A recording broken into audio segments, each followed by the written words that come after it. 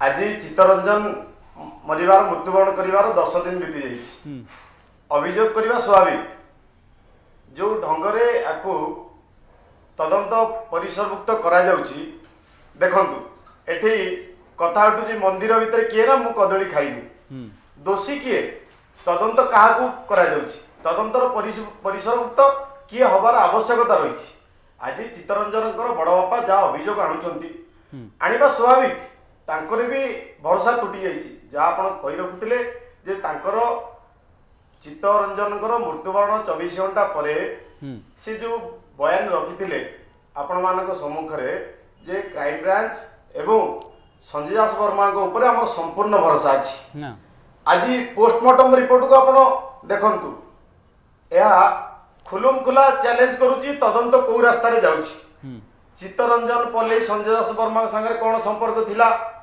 ଯେଉଁ ବ୍ୟକ୍ତିଙ୍କ ନାଁରେ ଚିତ୍ତରଞ୍ଜନ ପଲ୍ଲୀଙ୍କ ବଡ଼ ବାପା ଆଜି ଅଭିଯୋଗ ଆଣୁଛନ୍ତି ଅରୁଣ ମିଶ୍ରଙ୍କର ସଞ୍ଜୟ ବର୍ମାଙ୍କ ସାଙ୍ଗରେ କ'ଣ ସମ୍ପର୍କ ରହିଛି।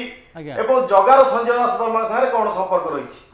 ମୁଖ୍ୟ ମୂଳ ବ୍ୟକ୍ତି ହଉଛନ୍ତି ସଞ୍ଜୟ ଦାସ ବର୍ମା। କ୍ରାଇମ ବ୍ରାଞ୍ଚ ଯୋଉ ତତ୍ପରତା ଦେଖଉଥିଲେ ତଦନ୍ତ ଆଳରେ। କାହିଁ ପୁରୀ ପୋଲିସର କଣ ଏତେ ଅପାରଗତା ଅଛି ଆଜ୍ଞା? ଚବିଶ ଘଣ୍ଟା ଭିତରେ ଯଦି ପୁରୀ ପୋଲିସ ଠୁ କେସ୍ ହାତରୁ କଢାଯାଇ କ୍ରାଇମ ବ୍ରାଞ୍ଚ କୁ ଦିଆଯାଉଛି ଏହାର ମାନେ ଏଠି ଆପଣ ବଡ ଯୋଉ ପ୍ରଭାବଶାଳୀ ନେତା ମାନଙ୍କୁ ସୁରକ୍ଷା ଦେବା ପାଇଁ କ୍ରାଇମ ବ୍ରାଞ୍ଚ ଓଡିଶାରେ ଅଛି। ଆଚ୍ଛା। କ୍ରାଇମ ବ୍ରାଞ୍ଚ ହଉଛି ଯୋଉ କଥା ଆପଣ କହୁଛନ୍ତି ପ୍ରକୃତରେ ଜାଣିଛନ୍ତି କି। ଏଇ ଯୋଉ ଯାହାଙ୍କ ନାଁରେ ଅଭିଯୋଗ ତାଙ୍କ ବଡ଼ ବାପା କରୁଛନ୍ତି ଇଏ ଅରୁଣ ମିଶ୍ର ଜଗନ୍ନାଥ ଷଡ଼ଙ୍ଗୀ ଏମାନେ କିଏ? ଆଙ୍କର କ'ଣ ରହିଛି ସମ୍ପର୍କ ସଞ୍ଜୟ ଦାସ ବର୍ମାଙ୍କ ସହିତ? ସମ୍ପୃକ୍ତ ଯୋଉଦିନ ଚିତ୍ତରଞ୍ଜନ ପଲ୍ଲୀଙ୍କର ମୃତ ଶବ ଠାବ କରାଯାଇଥିଲା ମିଳିଥିଲା। ଚିତ୍ତରଞ୍ଜନ ପଲ୍ଲୀଙ୍କର ପତ୍ନୀ ତାଙ୍କର ବଡ ମା ତାଙ୍କ ଗ୍ରାମର ଆସିଥିବା ବୁଦ୍ଧିଜୀବୀ ସମସ୍ତେ ସିଧାସଳଖ ଇଙ୍ଗିତ କରିଥିଲେ ସମସ୍ତଙ୍କର ଅଭିଯୋଗ ଥିଲା ଆମ ପୁଅକୁ ସଞ୍ଜୟ ଦାସ ବର୍ମା ମାରିଛନ୍ତି।